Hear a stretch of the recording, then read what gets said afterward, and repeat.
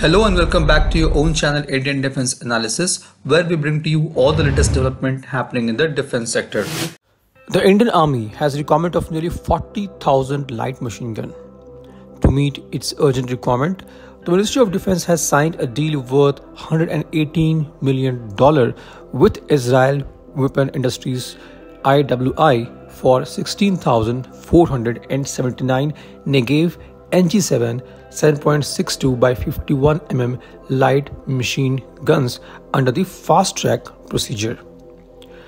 The delivery of all 16,479 LMG has been completed.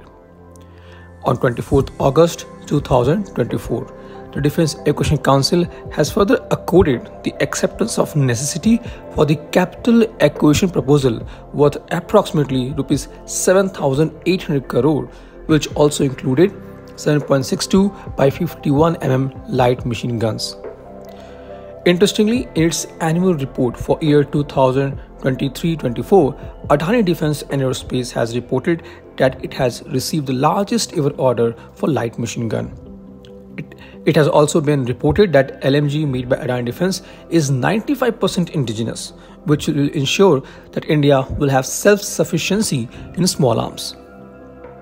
In 2018, Adani has entered into joint venture with Israel Weapons Industries IWI to manufacture the IWI weapons like Tavor assault rifle, X95 assault rifles, Galil sniper rifle, Negev light machine gun, and UZI submachine gun in Gwalior, Madhya Pradesh. Adani owns 51% of stake in the company and IWI the remaining 49%. The joint venture company is called PLR Systems, which stands for Precise, Lethal, Reliable. So now talking about the Negev NG7 light machine gun. It is an advanced, compact and lightweight machine gun in a caliber of 7.62 by 51 mm that has been deployed in conflict zones around the world. It's a battle proven by the IDF as well as multiple militaries and ally agencies in countries across the globe. The NG7 is extremely reliable under adverse environmental conditions such as mud, dirt, sand, rain, and snow. This is the finest, lightest, and most reliable LMG around the world.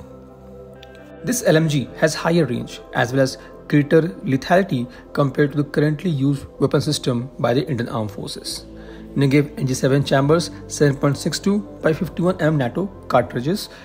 It has a barrel length of 508 mm, total length of 1030 mm, and weighs 7.6 kilograms. It has rate of fire between 600 to 750 rounds per minute.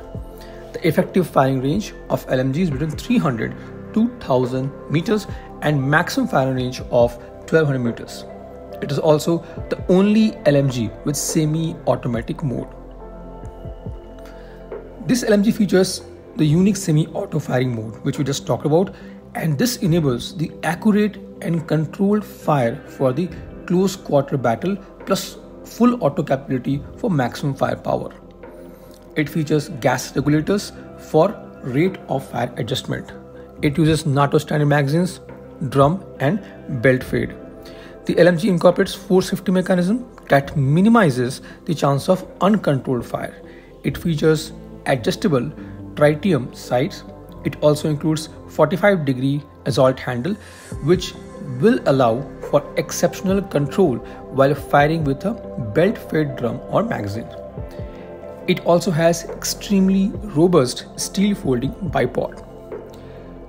It has Picatinny rails which is welded to the receiver, not the loading gate which provides continuous and repeatable zero with choice of optics.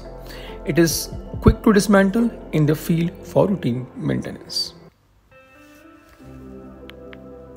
This was today's update. Please let us know your views on this in comment section. If you like the video, do not forget to like, share and subscribe. With this, I would like to say goodbye and Jai Hind. We'll soon back with more interesting and amazing development happening in the defense sector.